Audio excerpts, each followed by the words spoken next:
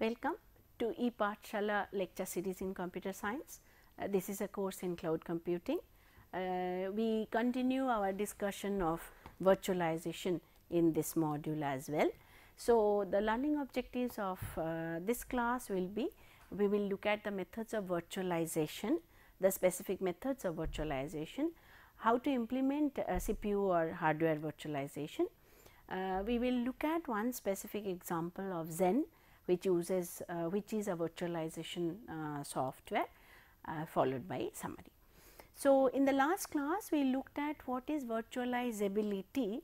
We saw that some uh, hardware are not virtualizable easily. There are certain uh, mechanisms or certain problems in that particular hardware um, by which we are not able to virtualize it. We looked at Popek-Goldberg uh, theorem for that and we saw that x86 which is the most popular architecture I say is not virtualizable and we just briefly describe the methods of virtualization. In this class we will look at the uh, those methods how to implement and we will look at uh, how Xen works. So, we saw that there are three techniques emulation, trap and emulate and binary translation. Let us look at a little detail of how these work. So, uh, in emulation as the name suggests use the VMM will behave like a uh, like the other expected guest OS. So, uh, here we run our uh, guest OS and the application in the user mode. Uh, we deprivilege our guest OS, we run the deprivileged guest OS in the uh, in the uh, higher ring in x86 specifically. Uh, every time there is an instruction, the host or the VMM will will trap to that, will translate it, will execute that specific instruction and then go back to the user mode. So, uh, there will be a continuous context switching between the kernel mode and the user mode. The user mode for every instruction in the user mode, the kernel mode will um, have to uh, react to that. So, this is basically a method of interpretation. Uh, as it goes without saying, it is very expensive to do interpretation because uh, for every instruction there is a uh, switch between the uh, two virtualization. In virtualization emulation is not required. When the ISAs are different, uh, when we run two different ISAs, programs written for one ISA will be run in another ISA. There the every user instruction has to be trapped by the VMM and translated to the uh, target ISA. So, that will be required, but in this case it is uh, really not required a simpler mechanism because in a virtualization we uh, do not expect a different ISA. We expect the different OS, different operating system. So, operating system targeted for a specific ISA will uh, an application will run in that operating system, but this whole application and that operating system will be run on top of another operating system, but both will be targeted for the same ISA. So, we really do not need to uh, do an emulation. A simpler mechanism is called trap and emulate where uh, the, the guest environment application and the guest OS again will be run in the user mode. The guest OS will be deprivileged, VMM will run in the privileged mode. The normal instructions of the user process in the user mode will run directly just like a normal non virtualized environment works.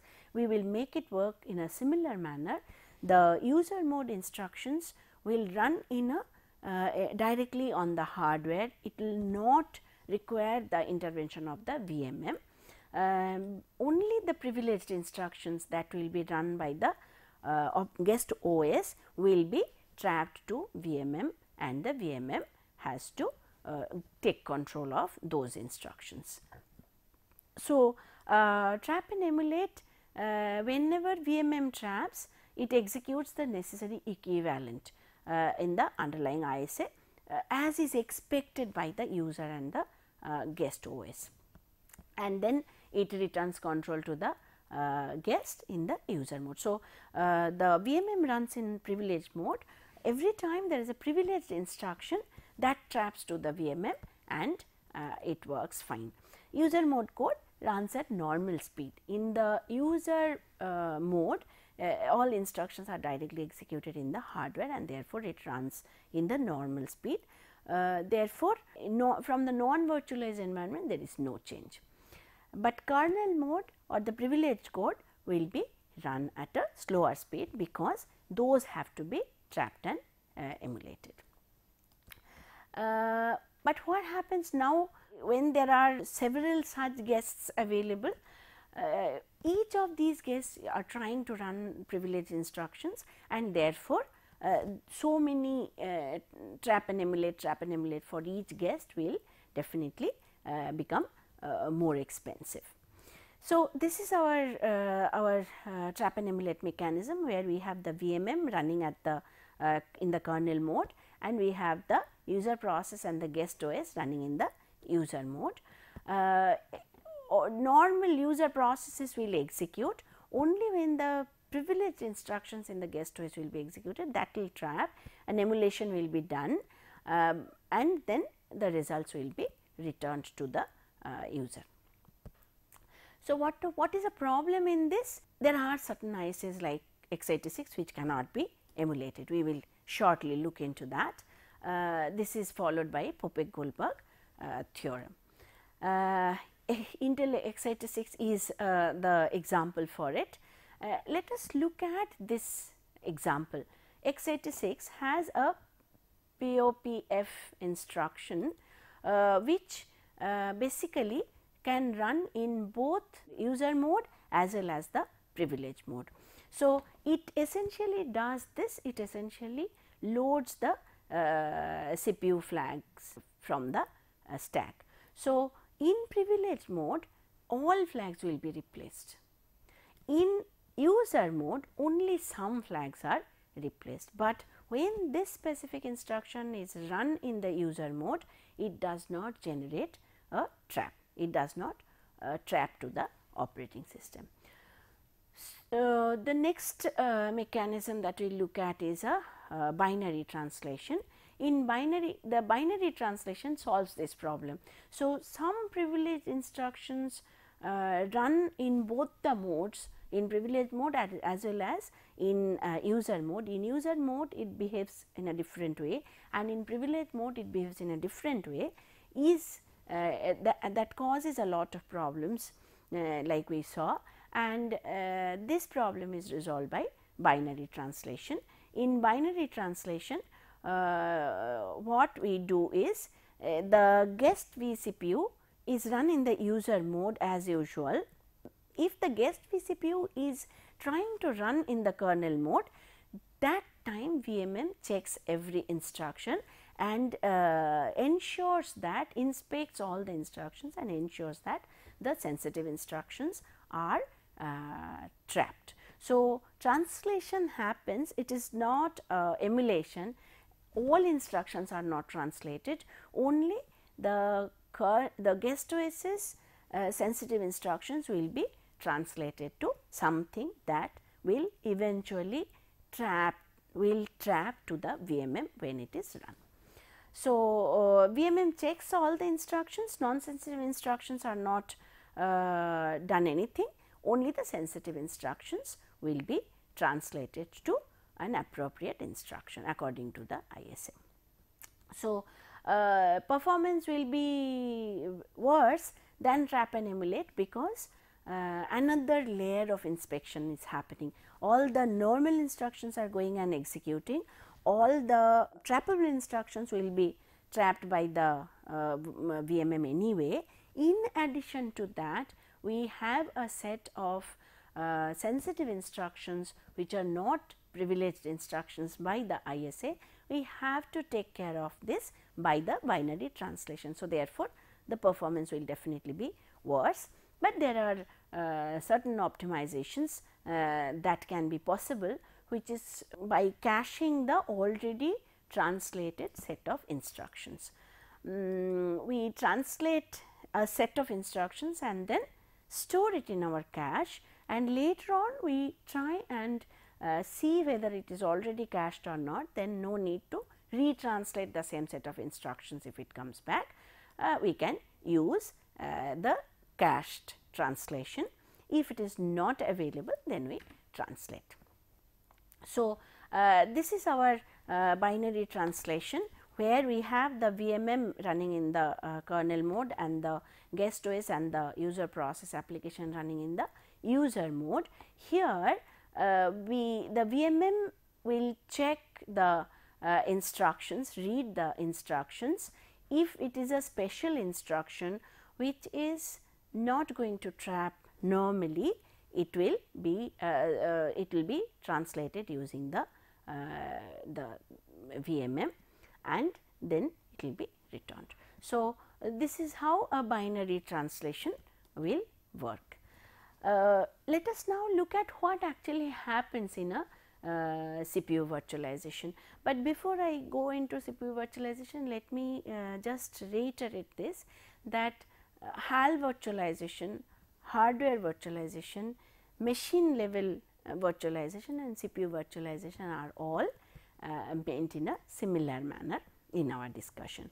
So, uh, as we saw from the our discussions we can uh, think of uh, four different types of methods. One is emulation where we saw interpretation, uh, one is uh, full virtualization uh, using dynamic binary translation. We will mm, see how we discussed, but we will see how binary dynamic translation works and then we, we can have para virtualization and finally, we can have hardware assisted virtualization. These are four practical uh, methods of uh, working with virtualization. So, we start with the first technique which is emulation uh, which uh, so we interpret the guest code and uh, only the uh, those hardware components are emulated though that is not that is different from what is expected by the uh, by the incoming process. Therefore, CPU and memory are uh, sufficient to emulate. So, emulate the CPU, emulate the memory and uh, it can be done. Uh, however, we as we already seen performance will not be as good and therefore, it is not a preferred uh, method. Mm, uh, in case it is required some additional uh, mechanisms can be implemented. Now, let us look at what exactly we are uh, looking for. We want to run an existing operating system and application in an isolated virtual machine.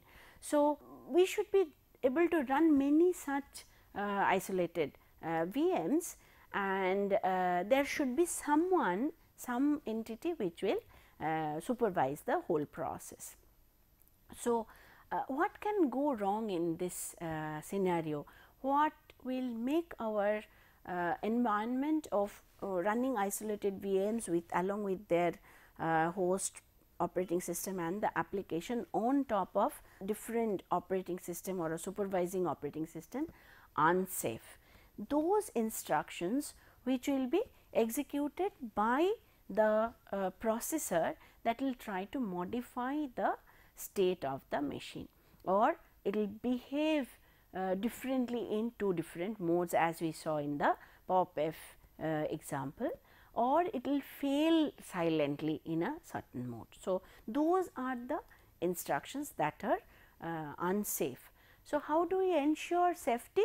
We do by inspecting the code. Uh, we saw that in emulation we have to inspect all the code rather than inspecting all the code in uh, binary translation uh, as we saw that method can be applied for uh, a virtualization uh, in practice and we can only inspect the important uh, instructions rewrite the instructions which are uh, which may cause a problem. So, what will happen to the performance? Of course, uh, the performance we, in Popek Goldberg one of the uh, mm, the properties of VMM is that the performance of a virtualized environment should be near native. how do we obtain that use in a practical environment? Uh, we make sure that most of or the bulk of the uh, instructions are executed in the in the native speed. Uh, we can do that by using what is known as full virtualization. Uh, here we apply the method of binary translation and trap and emulate and we call it a full virtualization. So, uh, in full virtualization uh, the guest operating systems uh, multiple uh, guest operating systems will share the resources and hypervisor is not known to the uh, guest operating system. So, the guest operating systems are unaware of the presence of the uh, hypervisors. This uh, since it translates only the uh, privileged instructions the hardware is it is expected that the hardware should be virtualizable hardware since the guest OS is accessing the uh, hardware is aware of the hardware. So, the guest OS is running and guest OS is expecting that it is running on top of the hardware without being aware of uh, changing the uh, the privilege level. So, what happens when the uh, hardware is not virtualizable? We cannot do a full virtualization, just our x86 architecture is not virtualizable. So, therefore, after uh, the problems of Popek-Goldberg came into light, for a very long time x86 was thought of uh, that cannot be virtualized. Uh, only when uh, the full virtualization came with a binary translation, then only we could understand that there is a, a possibility of uh, virtualizing x86. So, uh, in x86 if we want to virtualize, we need to run the guest OS in at a uh, higher uh, ring. We cannot run the guest OS in the lower ring because we have the VMM. So, uh, we run the VMM in ring 0 and we run the guest OS either in ring 1 or in ring 3, in ring 3 along with the application or in uh, ring 1 uh, above the uh, privilege level ring 0. Requirement that the guest OS should run at a higher uh, ring without knowing, without telling the guest OS that we are running you at a higher ring uh, creates uh, many problems. Uh, some of these are this instructions, some sensitive instructions. We saw that, that x86 not all instructions are not all critical instructions are uh, privileged instructions. There are sensitive instructions which like POPF can run in both the modes and they cause lot of problems in the user mode uh, in the privileged mode and user mode, but they do not trap when run in the user mode. Uh, ring aliasing is the problem of running the OS at a different uh, ring level. What happens is since the operating system is expecting certain privileges when uh, when they are written in, in, to be run in ring 0, uh, easily the OS can find out that it is not running in the correct uh, ring and therefore it does not behave properly. And the third problem is the address space. What happens to the address space uh, that is assigned to the operating system? Now, that address space is to be shared by the uh, virtual machine monitor or hypervisor as well as the guest OS. Therefore, guest OS does not get uh, to access the complete address space as is expected. Again, when the guest OS is not expecting to be having uh, to have less privilege than it is written for, there will be uh, difficulties. So, uh, how do we resolve the problem of critical instructions, sensitive instructions uh, running in both the modes etc., by doing a dynamic binary translation. So, we already saw what is a binary translation. I run the user mode code directly on the hardware. I trap only the uh, I translate only the critical instructions in the kernel uh, in the guest OS and make them trap to the VMM. that is a binary translation. These critical instructions will be converted to what is known as a privileged instruction. So, there is a sensitive set of sensitive instructions which will behave differently when they are running in user mode and kernel mode. When they are trying to run in the kernel mode, we translate them to a something that will be uh, always necessarily that will track to the VMM.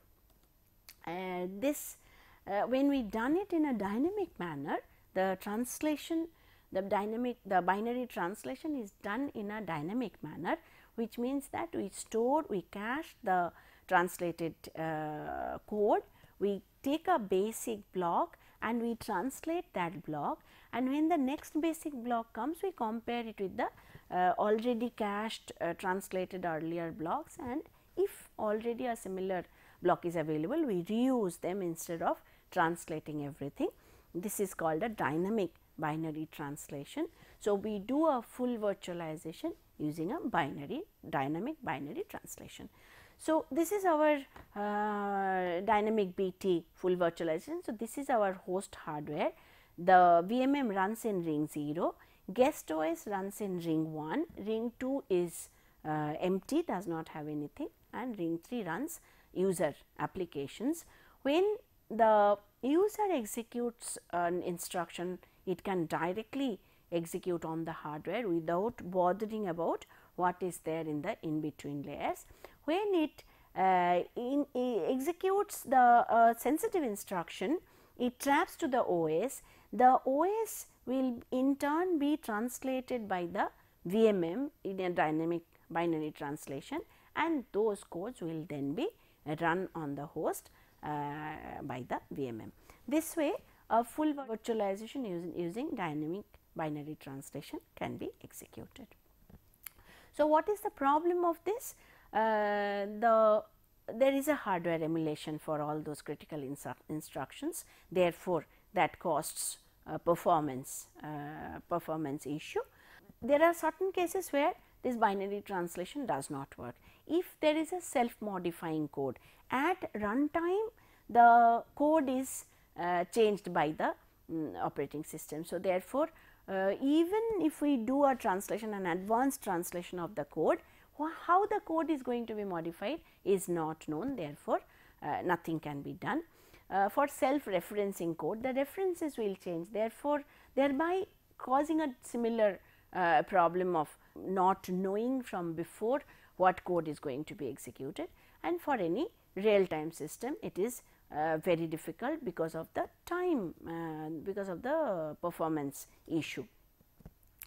What is the solution if all largely full full virtualization with binary translation or dyna dynamic binary translation works, but there are certain cases where it does not work where we can use the next mechanism which is the para virtualization. Here rather than letting guest OS think that they are running at the highest privilege mode.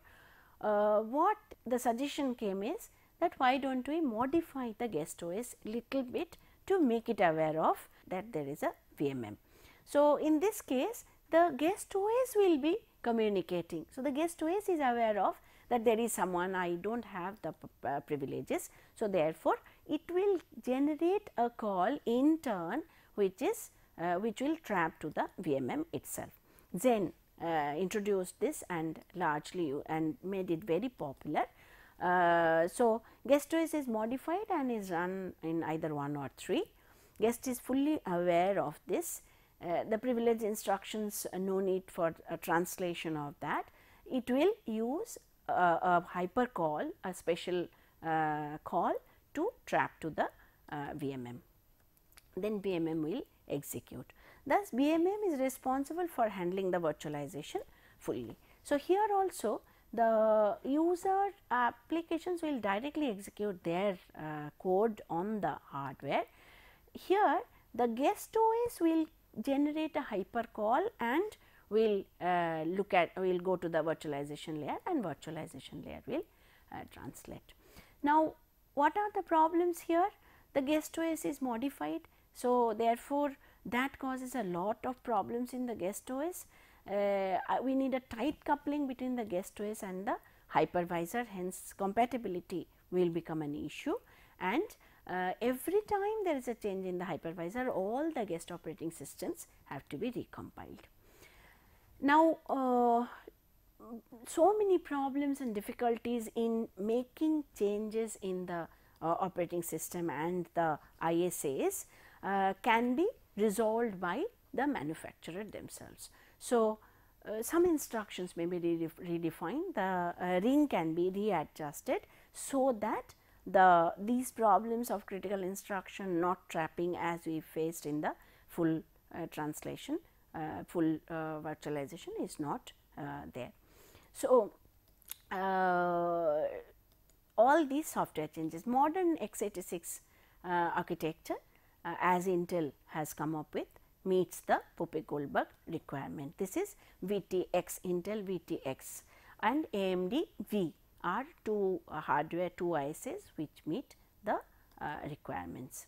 This VTX uh, introduces the uh, two modes, one is the VMX root mode and the other is the VMX non-root mode. The VMX root mode runs the VMM, non-root mode runs the guest operating system.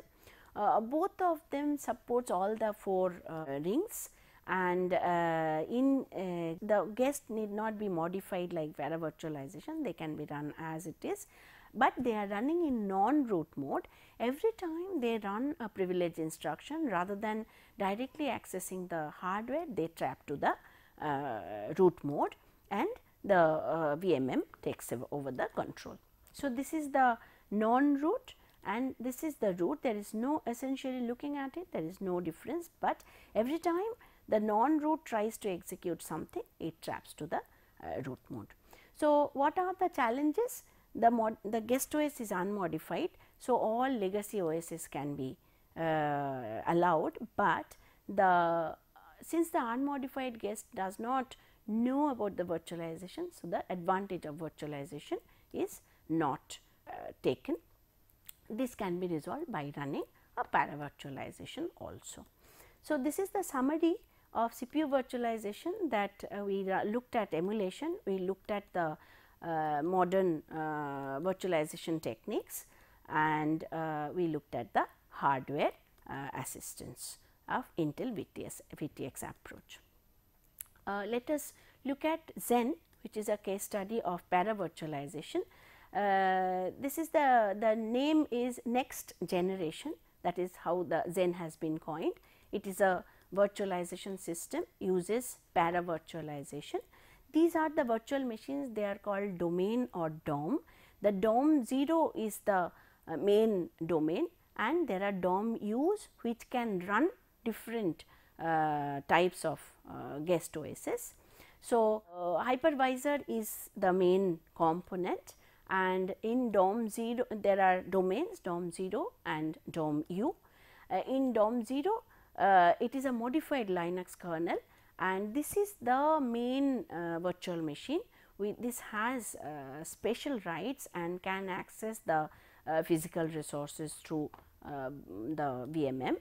Uh, it interacts with all other virtual machines and DOM U will be the other all other virtualized operating systems that will be run and there is a para virtualized VM which is the DOM U PV guests uh, which can run Linux, Solaris etc. and a full virtualized uh, VM which is the DOMU 8 VM uh, guest which can run unmodified operating systems like Windows. So, uh, what is the, uh, the Xen uh, pro project has been very popular and it has been taken over by many companies Sun Microsystem, HP, Novell, Red Hat they all have uh, different uh, ways of adapting Xen to their uh, uh work uh, including IBM. So, we come to the end of this module and we come to the end of virtualization. we looked at in this module the different methods of virtualization, the three types and then we saw how CPU virtualization is is implemented using the three methods and then we looked at how Xen works. Uh, now that we come to the end of virtualization, we talk about the next uh, mechanism or technique on which cloud depends which is the web services. Uh, these are our references. Thank you.